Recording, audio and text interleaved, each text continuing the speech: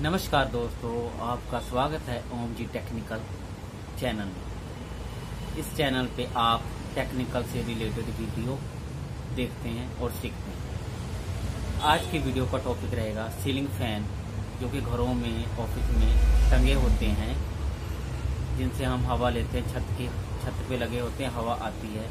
कई बार होता है उनकी स्पीड स्लो हो जाती है, उसमें हमें कैपेसिटर चेंज करने की आवश्यकता पड़ती है। उसको कैसे चेंज किया जाता है, उसका पूरा प्रोसेस इस वीडियो में बताया है। अगर आप वीडियो को पूरा ध्यान से देखेंगे तो आसानी से आप घर बैठे आप अपने पंखे का सेल चेंज कर सकते हैं। तो चलिए चलते हैं वीडियो की तरफ़। हम आ चुके हैं अपने वर्कशॉप की तरफ़, और हमारे पास है एक सीलिंग फ़ैन ये देखिए, इसमें सीलिंग फ़ैन में चार तारें दी हुई हैं। दो रेड कलर की हैं, दो ब्लैक कलर की किसी भी सीलिंग फ़ैन का कैपेसिटर चेंज करने के लिए पहले उसकी कंटिन्यूटी को चेक करते हैं। अगर हमने कंटिन्यूटी चेक करनी है तो पहले रेड को रेड से लगाएँगे। ठीक है ना? ये देखिए। जो अगर आपको मैं दिखा सकूँ तो ये बल्ब। ये देखिए रेड पे रेड पे लगाया। ये बल्ब ग्लो करने लग गया।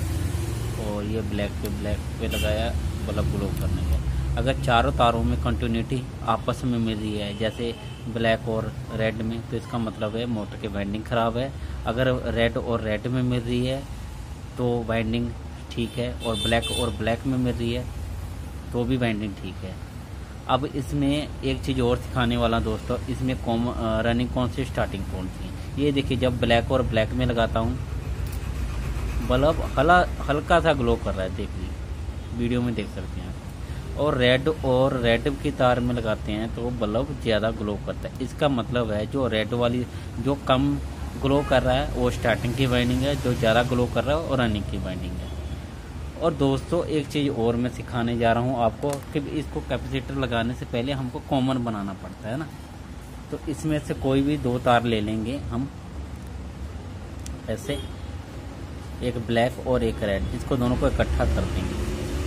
आपने देखा होगा कंपनी के पंखे में भी तीन तारे होती हैं। तो कॉमन ऐसे ही बनाई जाती है दोस्तों अंदर से, ठीक है ना? अब ये दो तारे पड़ गई इसको फिर से चेक करेंगे हम ये देखिए। बल्ब ग्लो करना चाहिए, देखिए। ब्लैक वाली में लगाया तो बल्ब इतना ग्लो कर रहा है। और रेड वाली में करेंगे तो बल्ब ज़्यादा ग्लो करेगा, है ना? तो अभी कैपेसिटर लगाने का तरीका क्या है?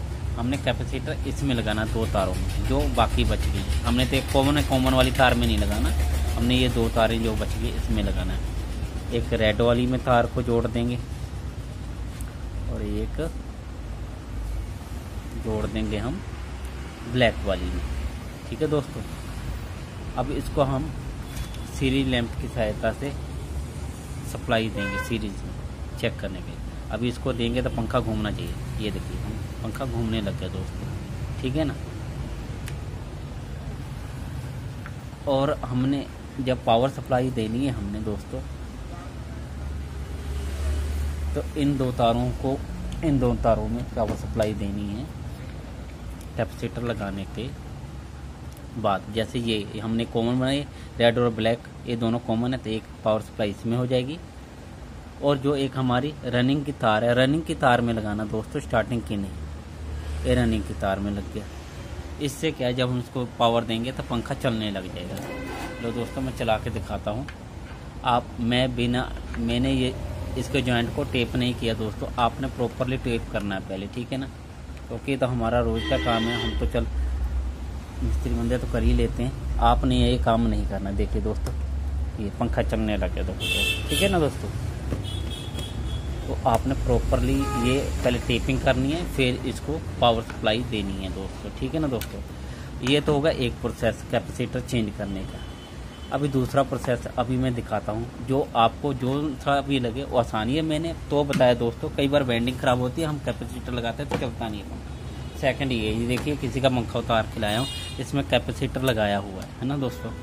ये पंखा ठीक है दोस्तों, पर एक मैं आपके जेनुअन जानकारी के लिए बताना चाहता हूँ कि आप घर बैठे पंखे कैसे दोस्तों, जैसे ये कैपेसिटर आपने निकाल लिया ना दोस्तों?